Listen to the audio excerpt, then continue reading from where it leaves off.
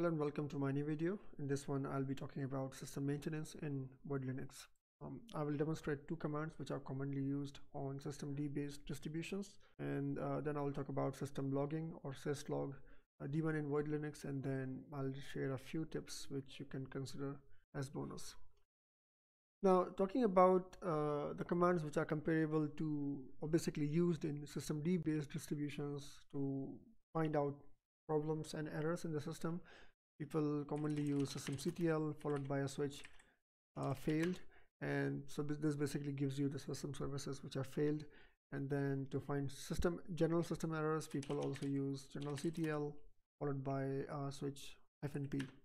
Some people also use dmesg uh, but that you know these two are like more than enough if used and then the output of these two commands is analyzed by people and then they use that output to find the solutions of the problem.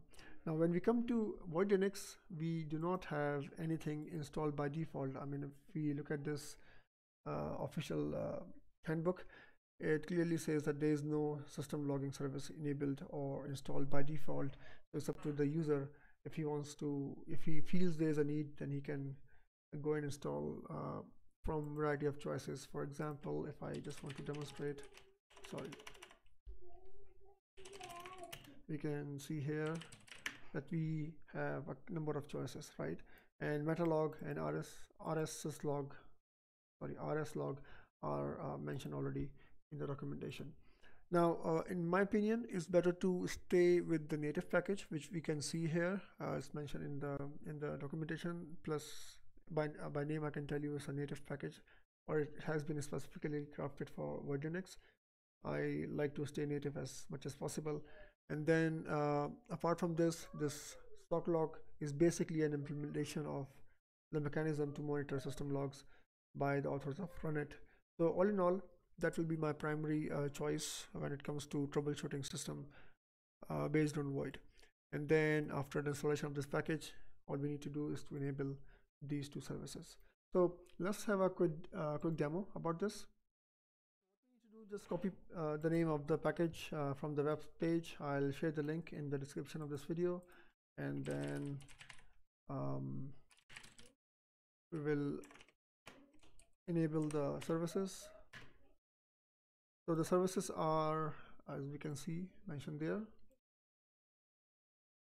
We'll just copy it and then go back to terminal. And we know that in void linux to enable service we need to symlink uh, that would be so first of all let's see the services are available in the masters directory. So etc sv and there we can see that socklog plus uh, nano k log is are available right? So we'll just do a symlink now. So sudo ln will use small s or soft link not capital s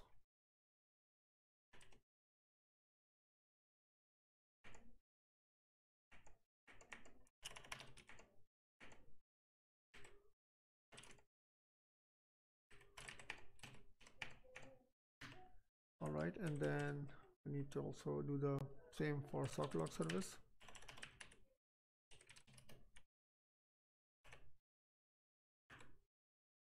And let's do a test that if services are enabled we'll do sudo sv service status nano k log d. So we can see the service is up and running for almost six seconds. Let us do the same for other service and that's also running. Um, I can use this service log as svlog tail. That's a command name. And then I need to have a filter called errors. And then uh, it will show me errors. So I don't see any errors here actually. Oh yeah I, there's one thing I forgot uh, actually to discuss that if I go to the browser the web page uh, the logs are limited to the root only root user only so either I need to run the command as sudo or I need to add my user to socklog group so first of all let's let's do this using uh, uh, as a root so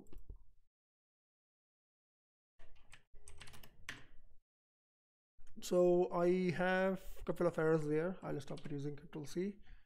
So I know I have an issue in Linux with TPM. I need this to run Windows, so something I am willing to ignore. Uh, I just realized that I have this error as well NTFS. This is basically my shared drive that I use between Linux and Windows. So there is an issue there. I need to probably Google. I have no idea what the hell is that. And then TPM again, I can ignore it. EEPROM again, I can Google up and find the issue. But again, these two, uh, TPM and EEPROM are kind of ignorable in my opinion. Only I would like to have a view on this uh, this uh, this drive because it's a shared drive. It has all of my data. So this is one example. Uh, so what we discussed uh, so far, we discussed that we need to install uh, this package called socklog. Then we need to enable these two services. And then I demonstrated one command, which is uh, svlogtail followed by errors to filter out the problems and errors. Uh, if I just do it without errors, it will show me a huge log, whatever happened, successfully or failed. It will show me everything, which is not in really, you know, I'm not interested to, to see what is what has been successful in my system. So I'll just focus on errors. So this is the command that we need to keep uh, in mind. Now, in case if anybody is interested to run this command as a regular user, what they can do is to just add their use, uh, user to uh, to the socklog a group using usermod command they will add and and will mention the group. The group as we know is socklog and then you can have your uh, username. In my case I is me. For me I don't really want to add myself to many groups. Uh, let's keep it sudo. It's more secure. I, at least I feel it's more secure in my opinion. So that's how we uh, can enable system logging services in uh, Linux and then use it to uh, for the system maintenance purposes.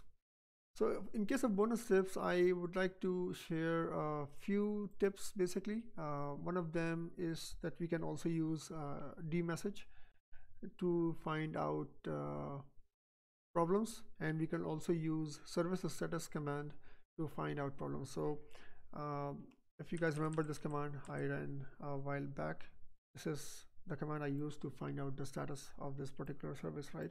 So in case if I am uh, willing to uh, find something which is exactly the replica of system failed uh, on system D based uh, distributions, I would probably be using uh, service status. This is my working directory, right? And then I'll say all services and then um, uh, okay no sorry I need to filter out uh, using grep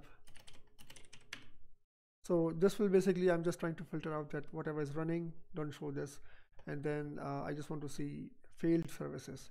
So this is one other way I can find out the the services which are failing and then I can drill down using logs into to troubleshoot the problem. One other command that we can use is dmesg as I mentioned also. People also use this on uh, system D based distributions uh, that would be so if I just do dmesg oh, no not permitted. So if I do just throw this command I will have a huge log which is of course uh, relevant and I can see there's something red. So I'm in fact interested in red right? So what I'll do is uh, dmesg then I need to filter out the output. I'll use uh, the level oh sorry this uh, switch level and then um, my filter would be um, emergency alert uh, critical and then error. Again these commands are like widely available on man pages or you can also google. Uh, you, you, don't need to remember of this. You can just write down in a notepad and use them whenever necessary. So as soon as i enter this command we know that uh, we already saw in the syslog uh, output that these two were the problems I was having. One was uh, TPM and the other was EEPROM. Here we don't see the NTFS thing that we saw up there. So this is second way of uh, finding issues on uh, Void Linux.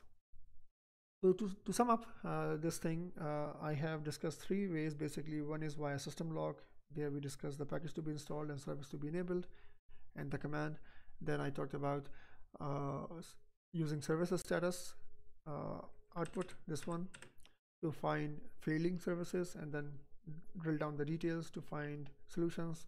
And lastly I discussed dmesg being used to filter out errors as well which is this command. Now before I sign off I also want to mention that it's better to keep your system lean and clean. So uh, whenever you're going to remove a package for example let's say if I'm going to remove for example pacman right um, I it's advisable to use hyphen capital R. Capital R basically is recursive. So it will not only remove pacman from my system but it will also remove all the dependencies which were required by pacman but are no longer required by any other package. Uh, we call them orphan uh, dependencies right? So whenever you have to uh, remove a package always remember to use capital R uh, to so we also clean our system from unwanted uh, dependencies or files or libraries basically which are not required by system at all. In case uh, you don't know uh, what I'm talking about you can just type xbps remove and enter you'll see all the switches there. So this is the one I, I was talking about. All right uh, also in, in in some cases uh, in the past if you have not used this uh, switch in past you can do it right now. You can do it like sudo xbps remove and hyphen small o and that will remove that will find uh, some orphan libraries or uh, which are not required by any other package. In my case I have two only and I'm you know I'll remove it and I have a happy clean system. One other tip I will also like to share is to use capital O which is cleaning the cache. So I mean don't do, do this too often. Just do it in a while like once in three months maybe but it again depends uh, on your personal choices. I normally do it in like three months or two months once only. So this basically cache is the repository of old packages which have been upgraded and are no longer required definitely when we upgrade our system on an ongoing basis. In some cases however we do need to downgrade. Like for example the package is not working properly and uh, there are some issues like stability. So in those cases which are by the way very rare in those cases we may, we may need to downgrade uh, to the previous version and then in those cases we need to have that package available in the cache but normally like for example when I updated my system uh, since then I have no issues at all. That's why I can very safely run this command and free up some space on my um, uh, storage device. One other and last thing I want to uh, highlight uh, when it comes to systems maintenance um, that is from the official handbook. We need to go to uh, kernels not find yeah kernels there. So we'll go to kernel and there uh, I'll talk about removing the old kernel. So um, in my you know what happens is when the distribution is updated whether it is void linux or any other the older kernel is never removed. It, it, it stays in there uh, in, in the installed actually and active it just gets overwritten with the newer version of it. So we never see it but uh, what happens is when you have a dedicated boot partition that kind of fills up as we have uh, older uh, kernels being accumulated or gathered and in some cases you may get an error that you are unable to upgrade because there is no space and you will see there is plenty of space already in the root folder but the boot uh, partition gets filled because of old kernels. Uh, this is the line I'm talking about. I mean, if my speech is not clear, please um, open this link and read it for yourself. So what I'm talking about is that we need to remove old kernels uh, once in, again in a while, like three months or something, uh, when we are absolutely sure our system is working as intended and newer kernel is not causing any problem, then it's advisable to use vkpurge command. This comes uh, pre-installed already. We don't need to do anything. Just uh, copy this command and we'll uh, go to terminal.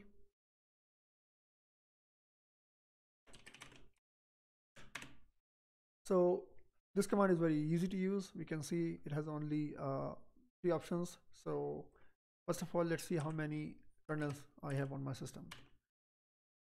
You see I have whole lot of kernels all the way going back to 5.1 this is my latest one. So now if I want to remove one particular uh, kernel I can mention the name but in my case I don't need all of them so I can just do move all.